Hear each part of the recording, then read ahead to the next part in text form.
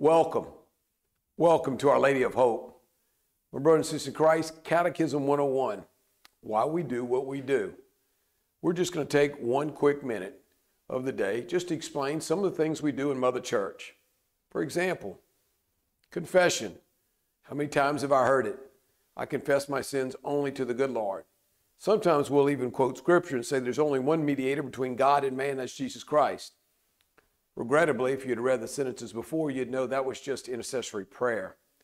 The point is this, my brother and sister in Christ. Confession began back in the Old Testament, Leviticus 5.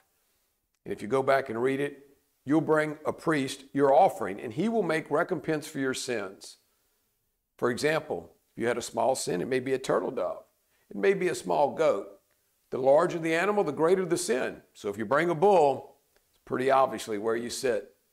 Maybe I suggest to you let your family bring the bull in. Just go in ahead of me, right? They'll see you carrying the bull. Here's the point. When the good Lord said, I came to fulfill the law, not to change it, confession has to stay in play. Hebrews 5. I will choose priests among men for the forgiveness of sins. No one is to take it upon themselves. St. Paul, his letter to the Corinthians, the second letter, the ministry of reconciliation has been given to us. John chapter 20. Go out and heal them and forgive them of their sins. Remember this, my brothers and sisters Christ. The good Lord never baptized anyone, nor did he ever hear anyone's confession. Why? Because he's leaving in three years. And as a result, we need to get used to going to his apostles. My brothers and sisters Christ, it's the Advent season.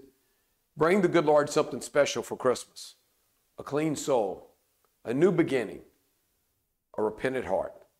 May the good Lord bless you and keep you, his face forever be upon you.